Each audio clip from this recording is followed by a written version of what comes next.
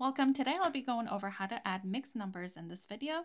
Mixed number is a combination of a whole number and a fraction. The whole number is the big number in front of the fraction. So the problem on our board, the whole number is 4 and 1. And the top number of a fraction is called numerator, and the bottom number is called denominator. So in this video, I'm going to show you how to solve this problem on the board two different ways to get to the same answer. And you can use either option. Okay, so the first way is to separate the whole number from the fraction. So we're to take 4 plus 1 equals to 5. So that is our whole number portion. Then we're to take the fraction, which is 2 over 5, plus 3 over 10. So we're to add the fraction portion.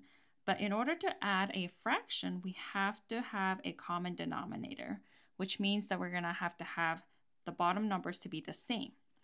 So we're going to take 5 times 2, which would get us to the 10, and so we would have a common denom denominator. So whatever you do on the bottom of the fraction, you have to do the same thing on the top as well. So we're going to take the 2 times 2 as well. All right, let's rewrite our uh, problem. So 2 times 2 is 4. And then 2 times 5 is 10. And we're going to add 3 over 10. So now we have a common denominator of 10. So the bottom number is the same. The next step is, we, is to just add the two top number on the top. So we're going to do 4 plus 3, that's 7.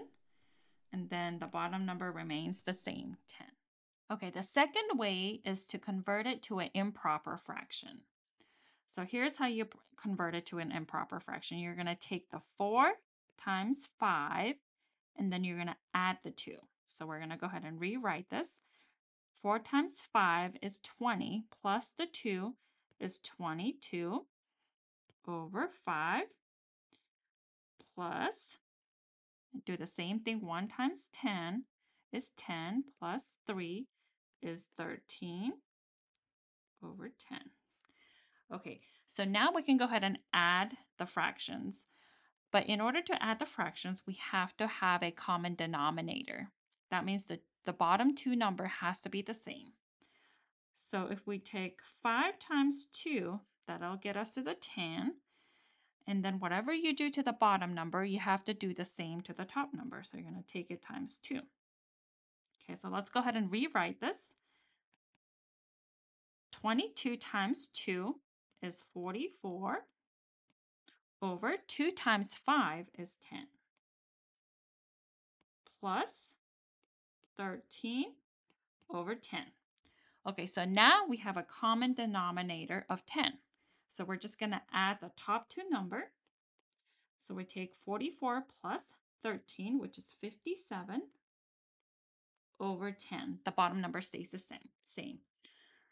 Okay, so now we're gonna what we're gonna do is this is an improper fraction because the top number is higher than the bottom number. So now we're gonna convert it back to the whole number. And in order to do that, you take the 10 and see how many times can a 10 go into the 57. So if we have a 5, 5 times 10 is 50. So the 5 would be our whole number. And then if we take 5 times 10 is 50, and then we have from the 57, we have a 7 left. And then the bottom number remains the same. So our answer, again, is the same, 5 7 tenths. As you can see, we got to the same answer doing two different ways. And you can use whichever way that is easiest for you. Um, I prefer the first method just because it's it's easier to get to the answer.